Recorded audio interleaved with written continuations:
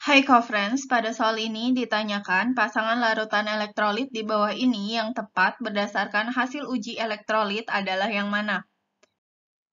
Larutan elektrolit adalah larutan yang memiliki partikel-partikel berupa ion-ion yang dapat menghantarkan listrik. Larutan elektrolit terbagi menjadi larutan elektrolit kuat dan larutan elektrolit lemah. Larutan elektrolit kuat adalah larutan yang zat terlarutnya terurai sempurna menjadi ion atau mengalami ionisasi sepenuhnya.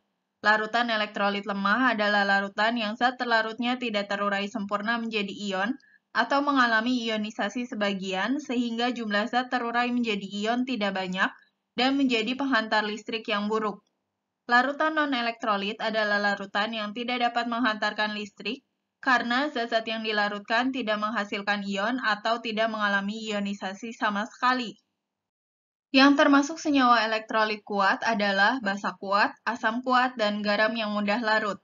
Yang termasuk senyawa elektrolit lemah adalah basa lemah, asam lemah, dan garam yang sukar larut.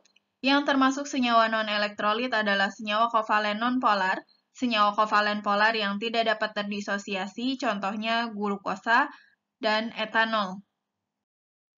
Untuk larutan elektrolit kuat, nyala lampunya akan menyala terang pada uji elektrolit, untuk elektrolit lemah, nyala lampunya akan menyala redup atau tidak menyala, dan untuk non-elektrolit, nyala lampunya akan tidak menyala. Untuk CH3COOH, ini merupakan elektrolit lemah yang akan terionisasi sebagian menjadi CH3CO- ditambah H+. Nyala lampunya akan redup atau tidak menyala. Jadi yang A benar. Kemudian untuk yang B, NaOH merupakan elektrolit kuat yang akan terionisasi sempurna menjadi Na+, ditambah OH-. Nyala lampunya akan menyala terang, jadi yang B salah. Kemudian untuk yang C, HCOOH, ini adalah elektrolit lemah, yang akan terionisasi sebagian menjadi HCOO- ditambah H+, sehingga nyala lampunya akan redup atau tidak menyala. Kemudian untuk HCl merupakan elektrolit kuat, yang akan terionisasi sempurna menjadi H+, ditambah Cl-, sehingga nyala lampunya akan menyala terang. Jadi yang D juga benar.